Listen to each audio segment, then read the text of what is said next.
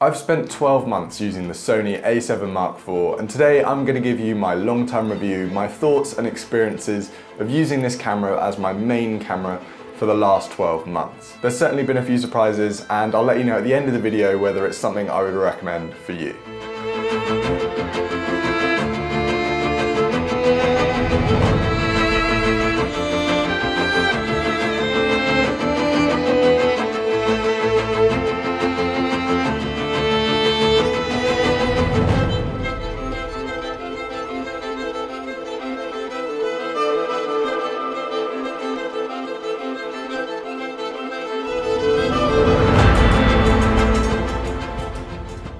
For those of you who don't know who I am, my name's Lucas. I'm a videographer and photographer based here in the UK, and I shoot primarily adventure and travel photography with a bit of automotive stuff mixed in there as well. I spend a lot of my time making YouTube videos and travel films to give you a little context about what I've used this camera for. I've also used this camera for a number of client gigs over the course of this year as that helps pay those bills. So when I picked up this camera in December of 2021, I was looking for a camera that was going to be able to produce really nice stills that could be used for client work, being blown up, as well as social media content, as well as a camera that could produce great video 4K was kind of an essential for me, as well as 10-bit color because I wanted to be able to experiment and grow my color grading abilities.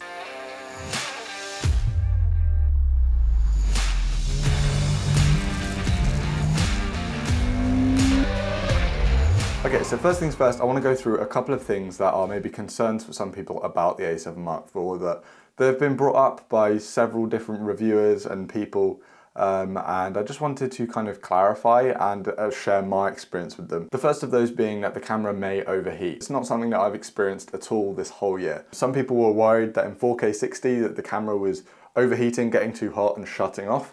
Some people have experienced that. Uh, I personally have not, not once all year, and I've used this camera extremely heavily. I've shot a lot of 4K 60, uh, and given I do typically shoot it with the screen open, I've heard that some of the issues actually come when the screen is closed, so that's just something to keep out for, but it's not really a major sacrifice to make. Just open the screen and you won't have any issues. The second one is the 4K 60 crop. I think it's something that is a factor on this camera. If you shoot a lot of 4K 60 and you need really wide 4K 60, then you may need to invest in some extra wide glass uh, to kind of get around that because you do get a 1.5 times crop. But that was something I knew going in. That's not like it was a surprise. Uh, that's just a feature of this camera. Actually, I found it to be beneficial in some scenarios where I'm able to just punch in a little bit closer. I don't typically shoot a lot of wide or super wide 4K 60. Uh, it's normally more punched in stuff, slow-mo details, etc. Um, so I've not had any issues with that crop. Final one is the rolling shutter. Again, this is something that was very quickly realized when this camera came out that it does have fairly poor rolling shutter performance, but again, it's not been something that's bugged me on this camera. Uh, it's not been something that I've, every time I've shot, I've just gone, oh, damn, I wish it didn't have this issue. I haven't really noticed it as a major, major problem. Um, I'm still loving the footage that comes out of this, and we'll get onto that in just a second.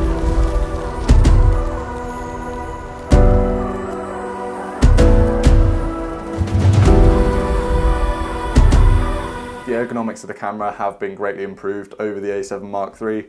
The grip is much more comfortable to hold. I still wouldn't say it's up to Canon levels of ergonomics, but in terms of a Sony camera, it's probably the best they've ever done. Uh, and the ergonomics of the actual buttons and where they're placed has been just really, really improved. And that switch between photo, video and S&Q is absolutely essential. Overall, the ergonomics of this camera are fantastic, including the flip out screen, which is great. The hardware of this camera is up to Sony levels that we have come to expect over the last few years.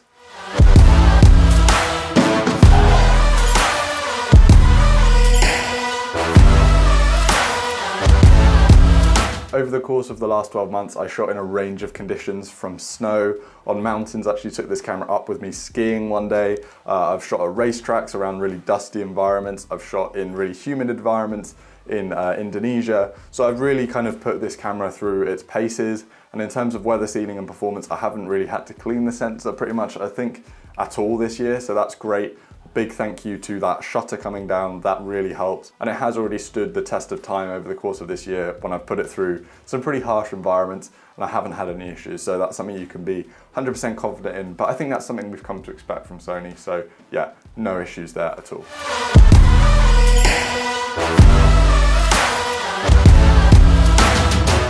In terms of photos, I am predominantly a video shooter now, but I still love taking photos. I would say my split is now 30 photos, 70% uh, video, but I enjoy photos as a hobby. It really means a lot to me and I do it more casually rather than for client work now, but I have had a few gigs this year as well. But in terms of a photography camera, it is absolutely exceptional. Autofocus is absolutely spot on. It picks up faces incredibly well, incredibly quickly and accurately.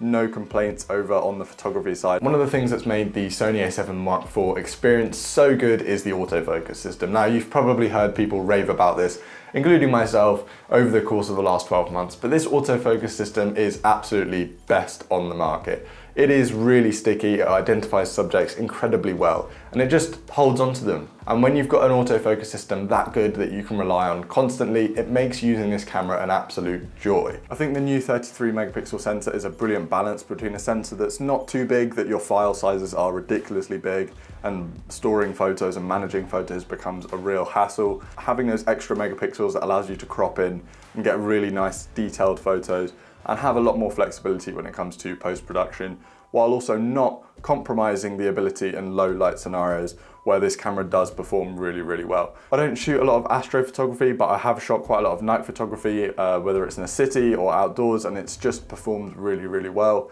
The ISO performance on this camera is incredible as Sony is kind of known for these days. Uh, so this camera is no exception and I've really enjoyed using this camera in night scenarios. When it comes to day-to-day -day use in photography for this camera is an absolute joy to use. The ability to customize your buttons and the layout really helps you tailor your experience. Plus having that flip out screen when you're shooting vertical, which a lot of us are these days. Shooting in a portrait orientation has never been easier, so it really, really helps in that regard. Finally, on the photo side, when it comes to editing the files from the Sony a7 Mark IV, they are so rich in detail and there's so much data there that you can play around with in post. The images have a great deal of dynamic range and the raw files just have so much data within them so pulling and pushing your colors is fantastically easy without losing quality when you're editing your photos, which is great for someone who might want to experiment with their style while using this camera.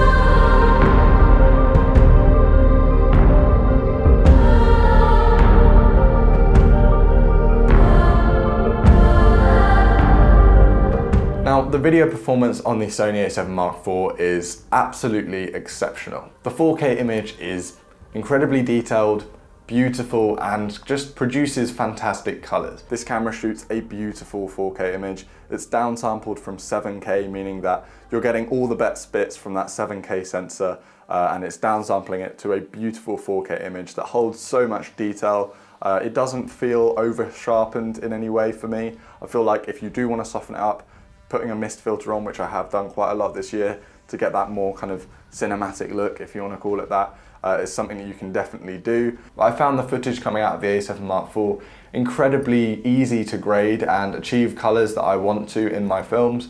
And it's been a great experience as someone who's trying to learn color grading a little bit more and get more creative with the grades that I produce on my films. It has been incredibly useful. The 10-bit color has so much flexibility in post, which has made post-processing a great experience. So I've been really, really pleased with the images I've been able to get out of it and I wouldn't be able to get those images without the fantastic autofocus system that this camera has. Honestly, this autofocus system is a godsend. It works so reliably and so well. There's only been a handful of scenarios where it hasn't worked for me, and honestly, it has been incredibly reliable. Pairing the fantastic abilities of this camera with the amazing range of lenses that are now to offer for Sony, honestly, you have so much to choose from to get a look that you really love. I know that many other people have given this camera plenty of praise, but I'm gonna add to that because it is absolutely fantastic. It's been the perfect camera and one that I will continue to use into 2023. So there we go. The question remains, was it the best option for me?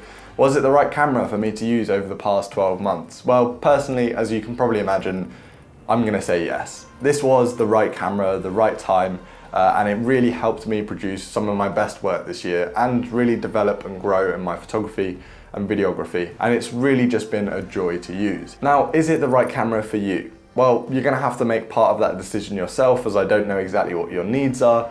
However, if you're someone that shoots both photo and video and you need a camera that can produce exceptionally in both of those categories, then this camera is definitely for you. All right, that's it from me. Make sure you go down and subscribe to the channel if you wanna see more videos just like this one. And if you enjoyed this video, leave it a like. That really helps the old algorithm getting this video out to a few more people. So thank you so much for all your support over on the channel and uh, I can't wait to see you next week. All right, see you later.